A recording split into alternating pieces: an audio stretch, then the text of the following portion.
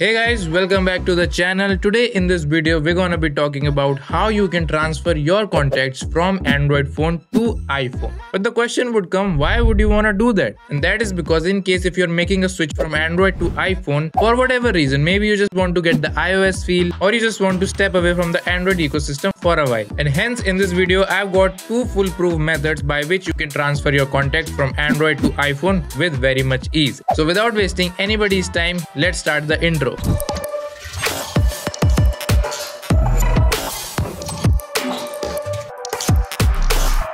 So the first method is transferring your Android contacts by linking Google to your iPhone. And it's very simple. You just have to sync your contacts using the Google account and store them in cloud. And the main benefit of this method is that you can access any of your Google contacts right on the device by signing into your Google account. So let's see how to sync Android contacts with iPhone by using your Google account. Now keep in mind that the steps may vary due to different Android versions. Since I have a Google Pixel 7a, I'll use that device for the demonstration purpose. So the first step is that to make sure that your Android contacts are synced with the Google account. So to do this, first on your Android device, go to settings, then scroll down and here go to Google. Now here you'll see this option that backup is on, just tap on it. Again scroll down and here you just have to tap on Google account data. And here you'll see all the kinds of data that is synced right now on my Google account. Now for contacts you have to make sure that the contacts toggle is on. Now for security, let me just toggle it off and then again toggle it on so that it syncs the latest contact data. Now on your iPhone, tap on the settings app, then scroll down and here just tap on contacts. Now tap on accounts. Now again tap on add account. And here you just have to tap on Google. And from here you can add the Google account from which you have already taken the backup. And once that specific Google account is set up on your iPhone, you will see all of the contacts in the Contacts app. So that was our first method. Now you might also be thinking that it is quite tedious in the process. But don't worry because the second method is more easier. What you have to do is that you just have to manually import or export your contacts as a vCard file. Which basically means that we are exporting the contacts from Android and we're gonna send this exported file to the iPhone and here we'll import the contacts from the file on the iPhone. Which is very easy. So let's see how it's done. So first on your Android device in the app drawer just search contacts. Then tap on it and here you just have to select all of the contacts that you want to share it to the iPhone. So I'm gonna tap on the three dots and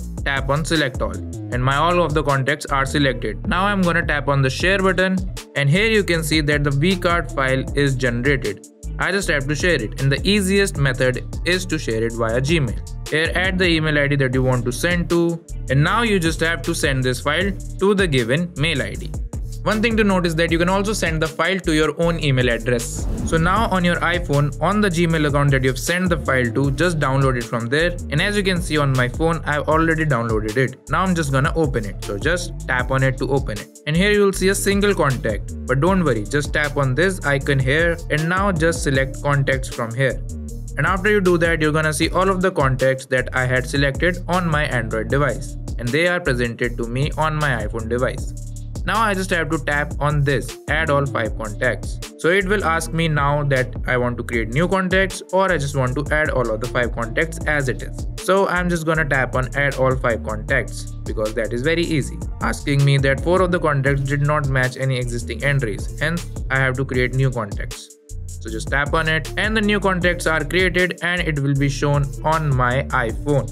And it makes the flow of transferring contacts from Android to iPhone very very very easy. So these were the two methods that I talked to you. But there's a third semi method as well. And that is because Apple has its own app called Move to iOS, which makes transferring all of the data from Android to iPhone more easy. But as I said, the only problem is that this method can only be used when you're setting up a brand new iPhone. So you have to keep that in mind. But unfortunately, if you've already completed the setup of your iPhone, then you can use the two methods that I told you in the beginning. So do let me know in the comment section that which of the method you have already used in the past whenever you were switching from Android to iPhone. Having said that, if you like this video then definitely subscribe to Geekified as we make amazing tech content every week just for you. And with that, I'll see you guys in the next video. Till then, peace out.